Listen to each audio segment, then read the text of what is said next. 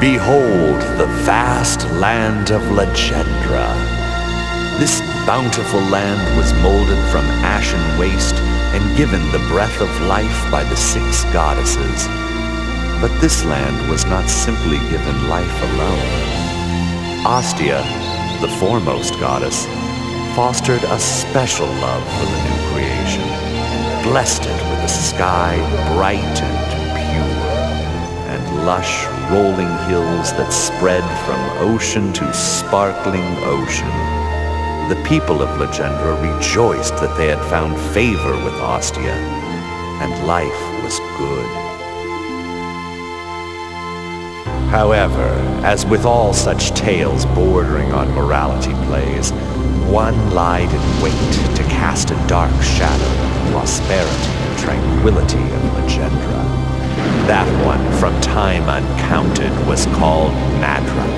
He and his villainous legion scorched the land and dried the once sparkling seas with a burning fury unequaled in all creation. His singular goal was nothing less than complete annihilation of the beautiful land that Ostia and her sisters had created. Before the cruel hand of Madruk, the people of Legendra had no hope of survival. Broken and despondent, they prayed fervently for a miracle. Suddenly, the sacred dragon Harzgalt lunged forth to block Madruk's advance. Enraged, Madruk turned his fiery ardor to Harzgalt. The battle between the holy dragon and the wicked god seemed to be without end. In its wake, the winds howled, the oceans crashed, and the vast land trembled violently.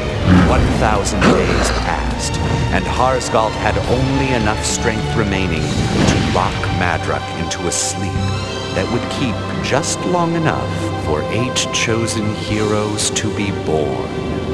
Now, that time is upon us.